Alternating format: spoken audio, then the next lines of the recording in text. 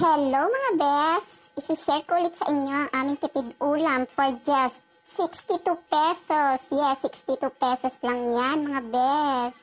Di ba ang tipid-tipid? Pang limang tao na yan.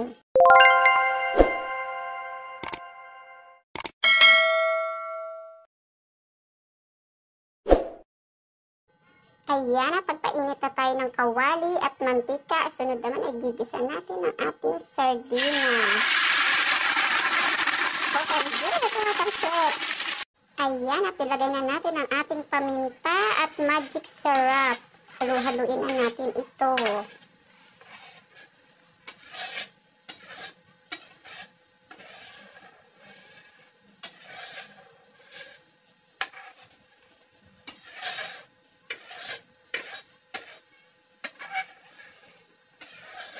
Pagkatapos ay ilalag lalagyan na natin ng tubig. Kung ilan kayo sa pamilya, ganun din ang ilagay. O kaya tansyahin nyo na lang kung ayaw nyo ng matabang.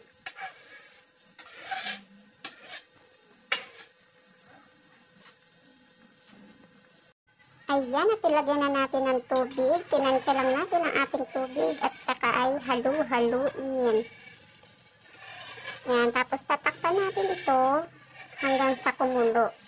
Saka natin ilalagay yung miswa para hindi siya agad hindi niya higupin yung sabaw kasi ang higop yun ng sabaw.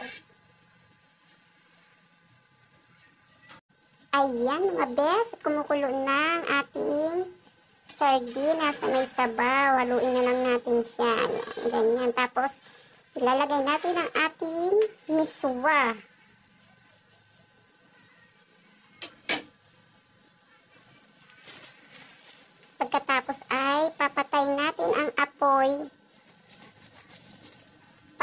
Hindi mamaga ang ating miswa. Haluin lang ulit natin para maghiwa-hiwalay ang miswa. Pero mas masarap kapag hindi masyadong maga yung miswa niya. Yan, pagkatapos papatay natin yung apoy at tatakpan natin ulit. Pwede na tayong magsandok ng ating kanin. Ayan mga bes, luto na ang. O ba diba, itsura pa lang napakasarap na. Sa uulitin guys. Huwag kalimutang mag-like, follow, and subscribe sa aming Facebook page at YouTube channel. Bye-bye mga bes!